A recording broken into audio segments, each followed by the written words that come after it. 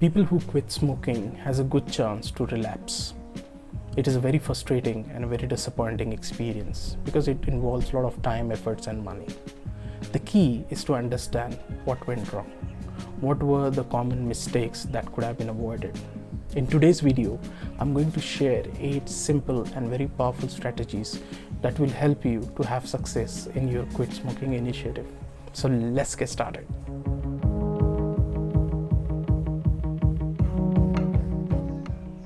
So to understand the whole spectrum of the eight mistakes, I would request you guys to see the video till the end so that you do not miss out any key information. So the first mistake starts with M. M stands for measuring your success. I've observed and experienced that many a times when we need some external motivation, we kind of become a member of some Facebook groups or maybe some Reddit groups. Most of the time come through the posts like, you know, 15 days smoke free, 5 days smoke free, I'm just getting started. And somehow those are very motivating posts, nothing wrong with that. But how you perceive them is a different ball game when you are just starting off with the thoughts that i want to quit smoking and uh, will i be successful or not? You always compare your results with your last time attempt that was unfortunately failed. So when you get started and when you read this kind of post you kind of compare your you know success with those posts will i be able to reach to that level of 15 days? Will i be able to continue you know quit smoking for a month or two? Or is it going to come back? And the whole focus changes towards your problems rather than the action that you are just going to take. So my dear friends please avoid this kind of comparison between this post and your own recovery. Everyone has a different time period. Everyone is a everyone has a different temperament and willpower and strength levels. So it is better not to compare yourself with someone else and not to get too much attached with those you know result oriented posts rather than focusing on your own self that yes i'm going to start today. It's day one it's day two day three. You're doing awesome. Rather than looking for an external motivation outside and getting some validation that yes am i doing good? Am i doing good?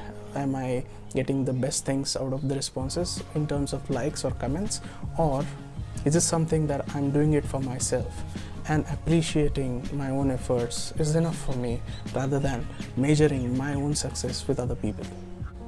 Second most important factor is the impatience if you do not have patience it is going to be a little hard for you to have a success in your next attempt so what happens when I say impatience? It's been a one week. What happens to my lungs? It's been a month. What changes my body is going through?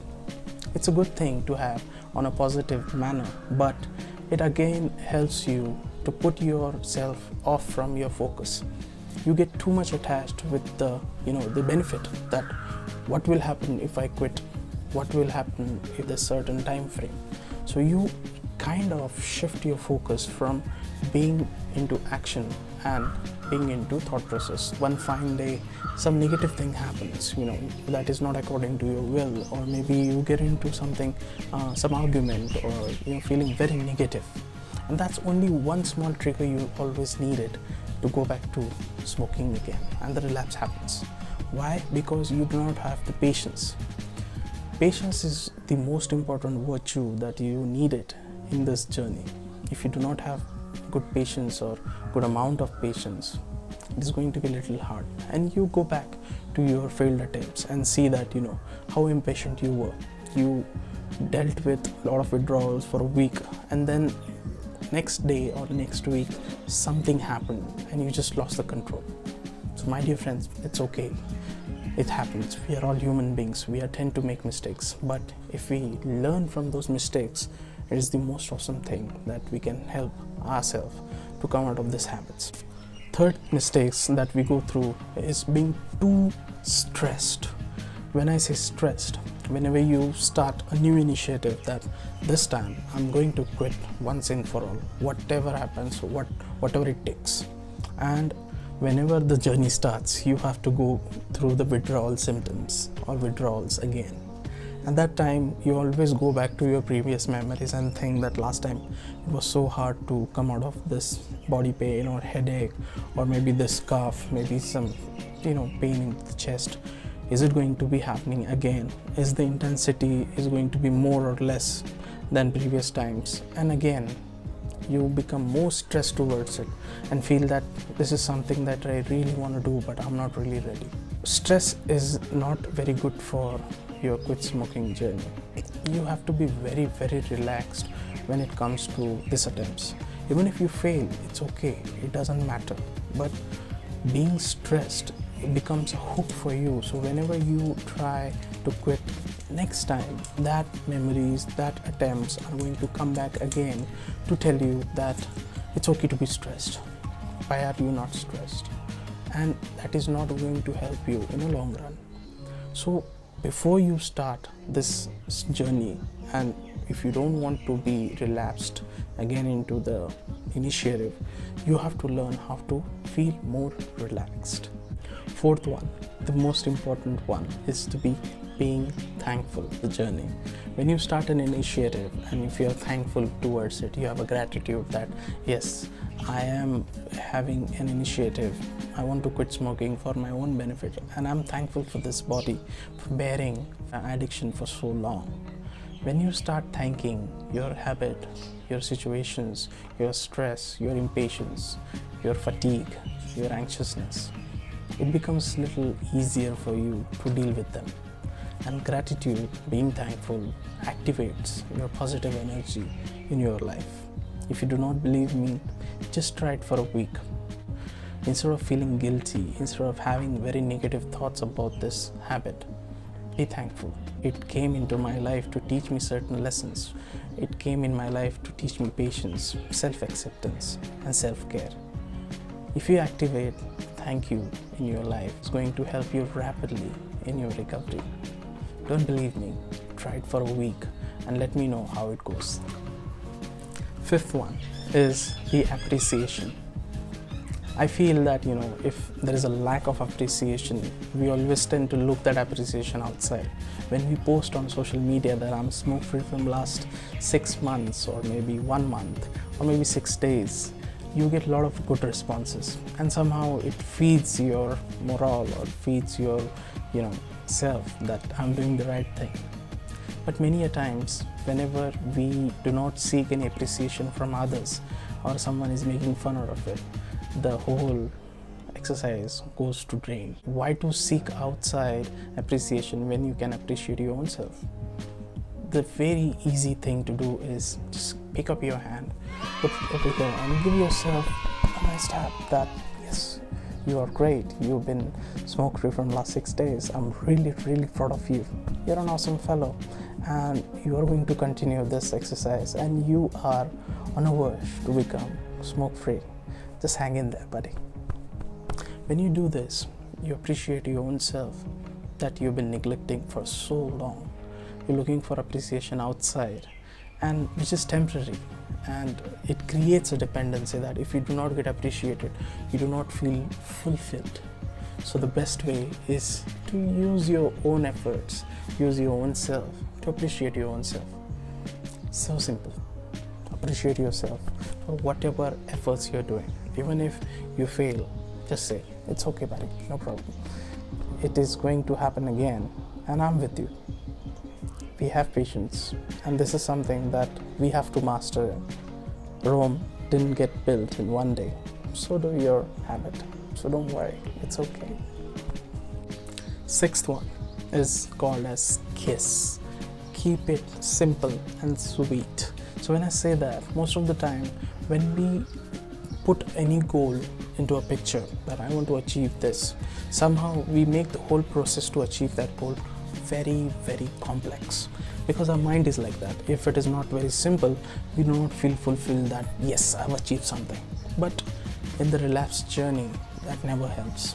If you do not make the journey very simple very small goal oriented it is most likely that you know you will lose interest in and you will lose your patience. So what i mean by that is like you know deal with your craving one moment at a time if you're feeling the withdrawal symptoms accept them. Do not make any drastic you know changes in your lifestyle. Like i'm going to run for like two hours three hours. I'm going to work out for the half day. Or maybe i'm not going to eat some some food for a whole week. Or whatever whatever etc etc that whatever you decide that is very very extreme in nature. That never helps. If you don't believe me just look at the past patterns that you've been followed that you know i will not go out with my friends anymore for a month. And then one fine day you the, the bubble bust and you just go and you someone offers you a cigarette and you start smoking again. Keep the goals very small very measurable and very simple so that you'll have the sweet results of it. If you keep it very complex it is most likely that you are going to fail like previous attempts. So give it a try seventh one is and if you do this 50% of your recovery will be done from today onwards. It's called empathy, empathy for your own self. Many times it happens that due to the society pressure, peer pressure, we feel that if we do not achieve something or if we do not do something, we are not good enough. And in that process, we become very hard on ourselves. For example, I want to have six pack ab. I will do a lot of exercise for that, a lot of you know crazy diets for that, just to feel good, just to show it to others and gain that confidence. But in that process, we play with our body, we play with our health, and we do not get good results in the long run. So whenever in this situation, if you failed in your previous attempts, do not be hard on yourself have an empathy that I'm trying, I'm a human being, I tend to make mistakes, and that's how I learn. That's the design of my life, and that's the design of everybody's life. If you do not make mistakes, how will you come to know what went wrong? And that's the whole process that if you empathize with your own self, with your own efforts, that it's okay, I tried. I'm going to try again. I'm going to learn from my mistakes. If you put this whole act as experiment then it works out. That's how I quit my smoking. I smoked for 10 years and two three years i was struggling to quit this habit but one fine day when i used these simple techniques and simple tactics it really helped me to understand this process is very very simple we make it very complicated and the most important part is we are too hard on ourselves to get the results this is not a competition as i said earlier everyone is different everyone has a different temperament and they, everyone has a different time. So be in your own space be in your own journey and quit this habit with more empathy. The eighth one the last one is called serendipity. You remember last time when you quit smoking? You found you had moments that you know yeah this is so simple. Why didn't i do this earlier? This is so great. I'm feeling so awesome I'm feeling more energetic, my cup has gone down, and I, I do not feel the same cravings I used to feel earlier. So, what happens? When you focus on the strength, it becomes more easier for you to have motivation instantly. But most of the time, what happens as a law of life, you will always get two things together. That means a day is always followed by night, happiness is always followed by sadness. So, if you are making a lot of efforts to quit smoking, you are having positive intent in your life, it will be followed by negativity. But you always have a choice to focus on which aspect of your journey. If you focus on the negative stuff, that means you are pulling your own leg to come back into your addiction. You always, whenever you start your journey, you always focus on the best thing that has happened in the previous attempt. That how you were successful to quit for a whole month. You dealt with your withdrawal so courageously, and it was so simple for you after some time to deal with them. But when you focus on the negative aspect that I always fail, why do I start smoking again? I do not have a strong willpower. I'm not meant for this. I'm not strong. So you create a loop of thoughts or triggers in your neurons, that means your brain. So whenever you feel little discomfort or negative feelings, or you feel that you can't do this, that thing activates in your brain and it tells you that you can't do this. Let's start smoking.